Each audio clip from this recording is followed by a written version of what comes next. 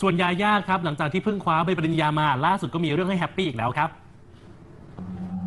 หลังจากอ้อนขออนุญาตคุณแม่ปลามันนานนานในที่สุดนางเอกหน้าแบ๊วยายาอุรัสยาก็ได้เลี้ยงน้องหมาสมใจสักทีค่ะ และใครที่คิดว่าน้องหมาของนางเอกแถวหน้าจะต้องราคาไม่ธรรมดานั้น ขอบอกเลยว่าคิดผิด เพราะน้องหมาพันธุ์มอลติสผสมอังกฤษเชอรียตัวนี้ยายาซื้อมาในราคาเพียง 99 บาทเท่านั้นเองค่ะ แถมยังตั้งชื่อแสนเก๋ว่าฮาป้าพากาโลโล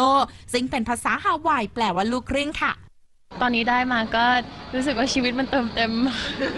ตอนแรก ๆ ตอนที่มันอื้อกับฉี่อะไรอย่างเงี้ยค่ะ หนูก็แบบไม่เอาไม่เอาแต่ว่าสุดท้ายแล้วก็ก็ต้องทำค่ะ ตอนนี้ก็ชิน ยอมรับเลยค่ะว่ามันมันไม่ใช่อะไรง่าย ๆ